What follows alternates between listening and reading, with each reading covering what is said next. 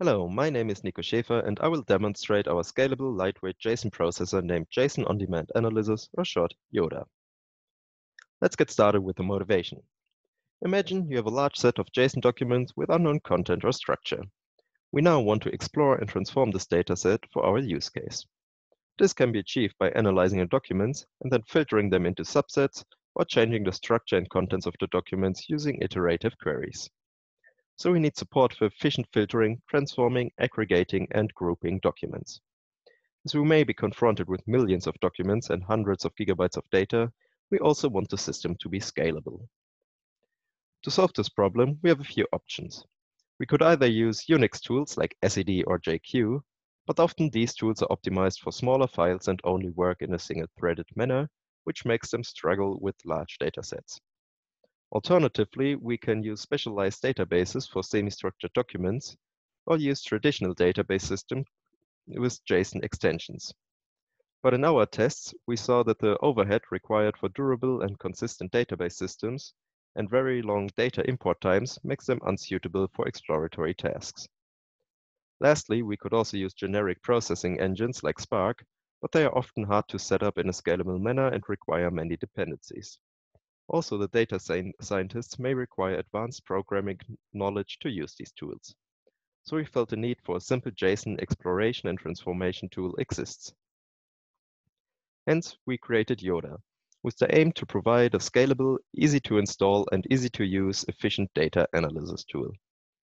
The user may import a collection of documents into a system, which are the equivalent of a table in relational database systems but they do not enforce any schema, and many different documents may be bundled together in a collection.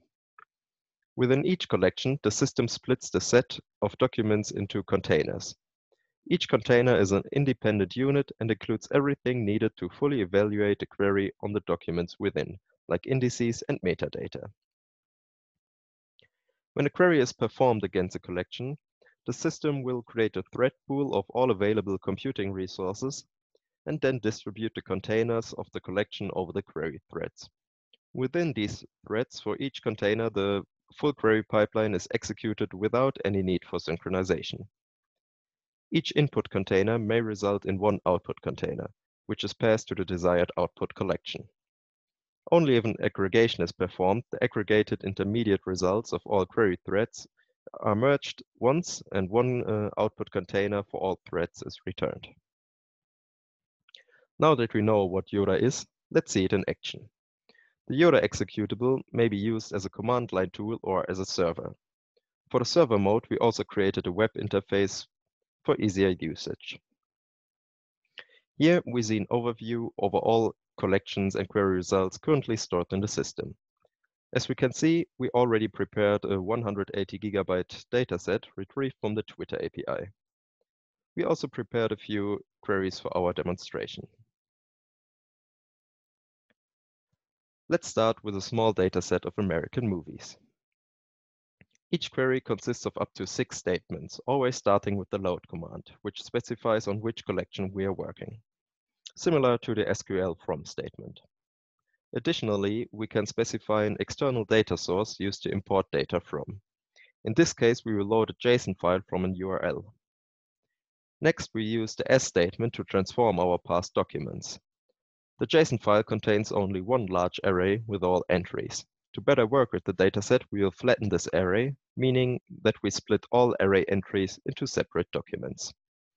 We then store the result of this query in a new collection called movies. And lastly, we delete the original movies array collection as it is not needed anymore.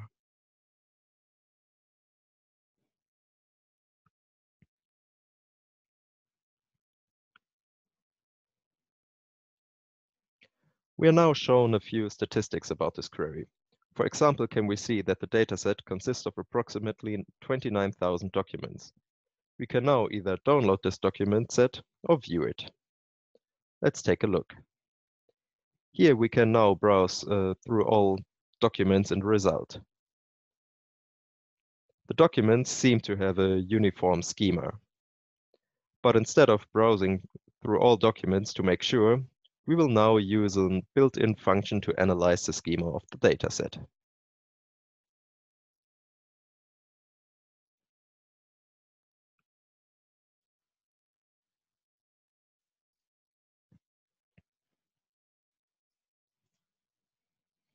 As we can see, the schema is indeed uniform as each attribute exists in all documents and the type is the same for all documents. Let's continue with our dataset. In a new query, we may now want to get all action movies. For that, we load the movies collection again and use the choose statement to filter the documents according to a predicate. In this case, we check if the action keyword is contained in the list of genres.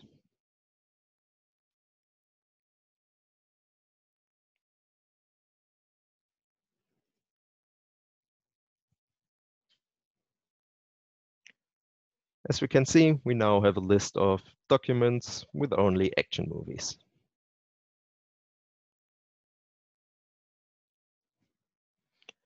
We also see that the documents contain a list of actors that played in the movie.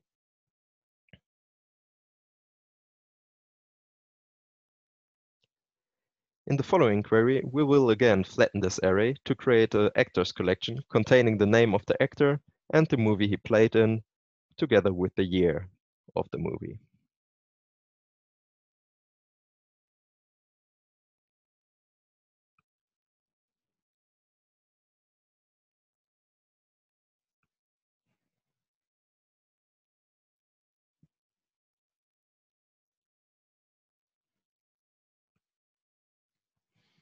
Now we can also reverse the original documents by aggregating all movies per actor to create one document for each actor having a list of all movies they played in.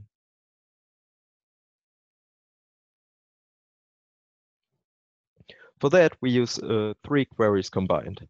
First, we will aggregate all documents to collect a distinct list of movie titles grouped by the actor. These documents are then stored in a temporary collection. As aggregations always return a single document, we now have to flatten it again into one document per actor in a second query. The last query now renames a few attributes for better readability.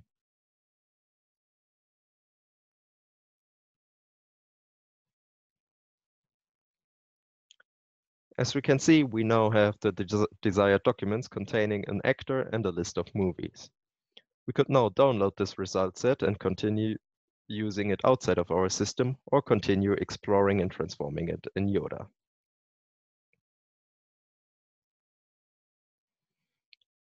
Now that we saw a small overview of the capabilities of JODA, we will use a larger Twitter dataset to show the performance of the system. We note that the Twitter dataset contains nearly 30 million documents with a size of nearly 180 gigabytes. We'll now analyze the schema of this dataset. The program currently runs on a server with 96 cores. On the right side of the display, you now see HTOP, which visualizes the CPU and memory utilization of the server.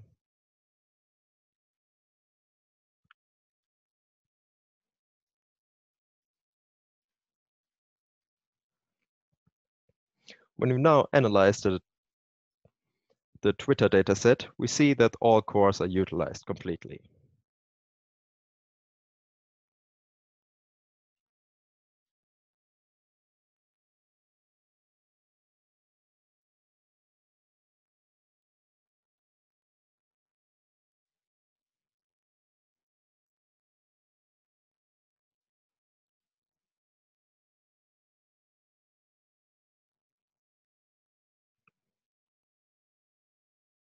We can now explore the schema as before, but as we can see, the Twitter dataset is much more complex than our previous dataset. Let's take a look at the various attributes. As we can see, the first attributes exist in about 79% of all documents. But when we now look at the next attribute, delete, we see that it only exists in the remaining 21%. This implies that this dataset may contain, may contain two schemas. We can check that by splitting the collection into two new ones.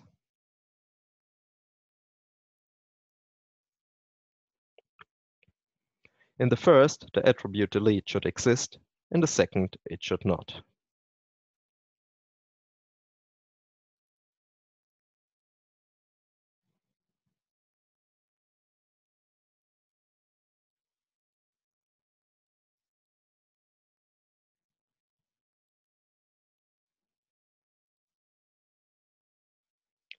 We now have the tweets and the delete collections.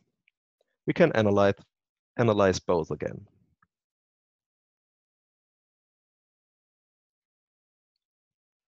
We now see that the delete collection is again a dataset with a uniform schema where each attribute exists in every document.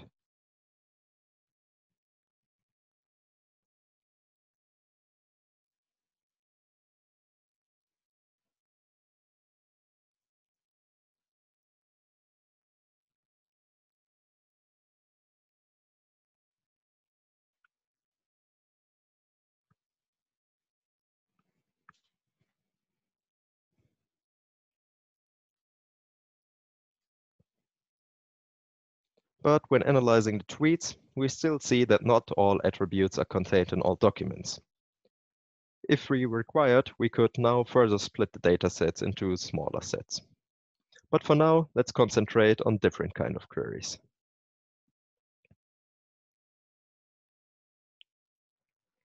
As we can see, the geo attribute exists in all documents, but is null in most of them. In remaining documents, it has a coordinates attribute uh, which is an array, and a type attribute, which is a string. If we read the API documentation or explore these attributes with our system, we will notice that these are GeoJSON features.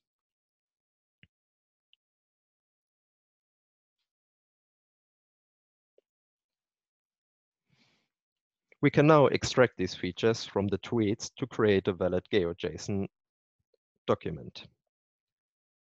The first query is now a little bit more complex, but essentially we check if the tweet has geo information and if the user is from the USA. We then transform this document into a valid GeoJSON feature with the tweet and the user as properties.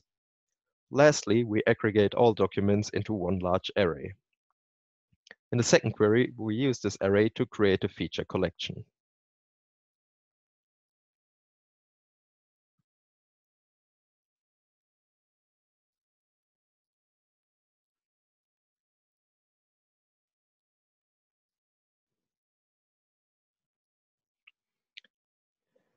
Below, we can see our aggregated document, which we could now use in an external GeoJSON viewer or application.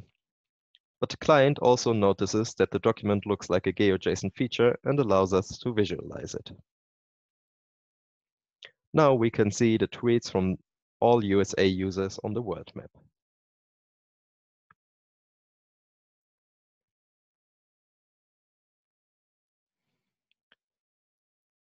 We could also get a list of all popular hashtags.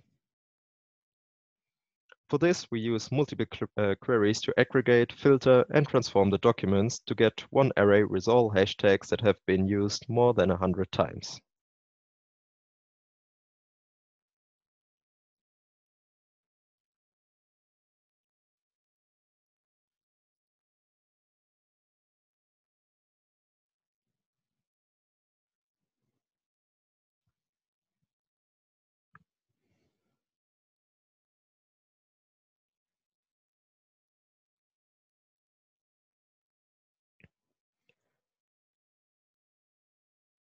There are a lot more features in JODA which we do not have the time to go into now. But we thank you for listening and hope you enjoyed this demonstration and will check out our project.